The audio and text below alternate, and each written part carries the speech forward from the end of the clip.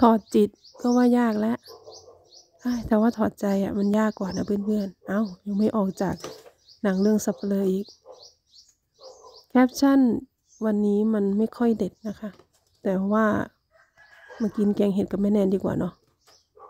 แม่แนนได้เห็ดฟางมาจากตลาดนัดชุมชนค่ะ ดอกใหญ่ๆเลย แม่แนนจะแบ่งไว้ต้มทำน้ำพริกอะค่ะแจวเห็ดฟางแล้วก็เอามาแกง ผักนี่ก็กำละห้าบาทสิบบาทค่ะ ชาวบ้านเขาปลูกเอง ใบแมงลักนี่ก็อยู่หลังบ้านค่ะ ปลูกเอง เรามาหั่นผักรอกันนะคะ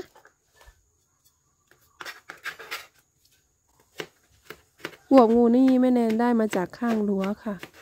เพื่อนบ้านข้างบ้านเขาปลูกค่ะ แล้วมันก็งามมันข้ามรั้วมาแม่แนนก็เก็บข้ามมาบ้านเราก็ของเราเนี่ยแหละค่ะ กินได้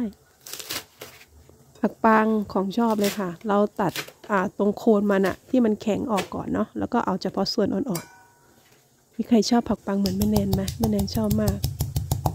โขกพริกค่ะพริกกับหัวหอมโขกเข้าไปพริกนี่จะบอกว่าเก็บข้างบ้านค่ะคุณยายปลูกไว้สามปีแล้วได้กินตลอด เก็บกินได้ตลอดอะได้แล้วพริกแกงของเรา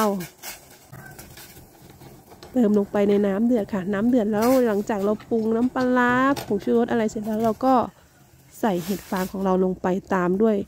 อ่าเอาผักที่มันสุกยากก่อนนะคะ ผักปัง แล้วก็บวบงู เสร็จแล้วก็ตามด้วยท็อปปิ้งใบหอมใบแมงลักของเราค่ะ เพิ่มความหอมกุกๆเลย แม่แนเป็นคนที่ชอบทานผักมาก โดยเฉพาะผักบ้านๆอีสานของเรา เนี่ยค่ะ เดือดแล้วก็โคเลโคเล ใส่ผักลงไปพอให้น้องสลบค่ะ จะได้สีสวยน่าทาน เรียบร้อยแล้วแกงเห็ด ผักล้วนๆค่ะเมนูนี้ ไม่ต้องกังวลมามาทานด้วยกันค่ะแล้ว